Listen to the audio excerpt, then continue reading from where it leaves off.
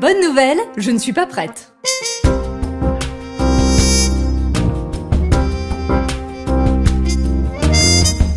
Le veilleur et Miss Aventure nous ont invités à les rejoindre au sanctuaire de l'enfant Jésus à Beaune pour nous préparer à Noël. Sauf que je me sens toujours pas prête et qu'on est en plein avant. En plein avant de quoi? Bah de rien, on est juste en plein avant. Vous voulez dire qu'il n'y a pas d'après? Ah bah si, après c'est Noël. Donc on est en plein avant Noël, on peut terminer une phrase quand même.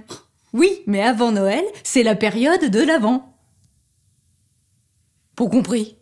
L'avant ENT, c'est avant ANT Noël. C'est un temps liturgique si vous préférez. C'est la période où l'on se prépare à la venue du Christ de trois façons. 1. Son retour dans la gloire.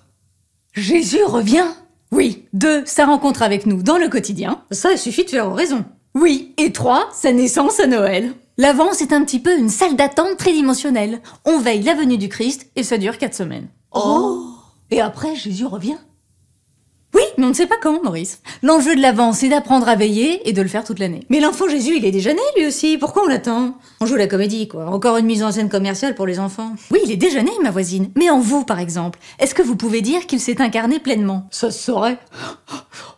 Bah, Maurice, Euh, excusez-moi. Mais ne vous excusez pas, Maurice, c'était très drôle. Ça se saurait, c'est vrai. Bah, Bah. Bah quoi? On peut avoir un peu d'autodérision quand même. C'est-à-dire qu'on n'a pas l'habitude. Ah, je suis choquée Oui, bah faudra vous y faire. Si je comprends bien, faire mémoire de la naissance du Christ nous invite à veiller pour qu'il s'incarne en nous. Ce qu'on fait entre autres en veillant à garder le cœur ouvert à la rencontre avec lui dans la prière du quotidien. Et on garde ainsi nos sens spirituels en éveil afin de reconnaître le Christ et d'être prêt le jour où il revient comme il est parti dans notre monde actuel. C'est bien ça? Un miracle de Noël Je vous en prie, Maurice, je ne suis pas encore l'enfant Jésus. Mais je vois qu'il vous enseigne. C'est vrai que j'aime bien passer du temps près de sa statue. C'est comme une lumière dans la nuit, comme un phare.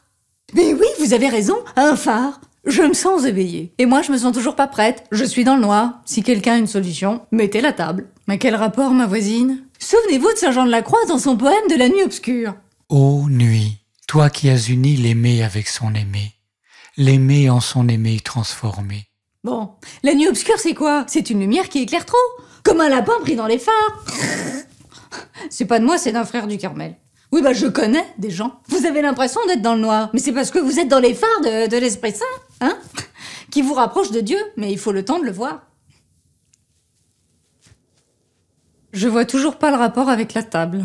La foi, l'espérance et la charité. Quand vous avez des invités, vous croyez qu'ils viennent, vous espérez passer une bonne soirée et vous les aimez en soignant votre table.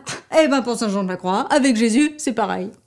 Nourrissez votre foi en sa venue, espérez toute sa lumière, et éveillez l'amour en votre âme pour que l'enfant Jésus puisse y cracher. Maurice, vous avez compris le jeu de mots? La blague? Oh, vous êtes très éveillée, voisine. Saint Jean-Baptiste, un veilleur lui aussi, nous invite à préparer le chemin du Seigneur par l'annonce de la bonne nouvelle et le pardon des péchés. J'ai compris qu'il fallait convertir mon cœur. J'attendais d'être prête, je m'attendais moi, au lieu d'attendre Jésus. Direction le sacrement de réconciliation. Là, je réalise que Dieu seul peut me préparer à sa venue. Pardonner, mes yeux de petit lapin s'habituent enfin à la lumière du phare, unique, Jésus, mon invité, qui est lui-même mon repas, qu'il me donne le temps de désirer. Tout ce que je peux faire en attendant, c'est de mettre le couvert. Merci Saint Jean de la Croix. Alors la prochaine fois que t'es pas prêt, mets la table. Partage le bonne nouvelle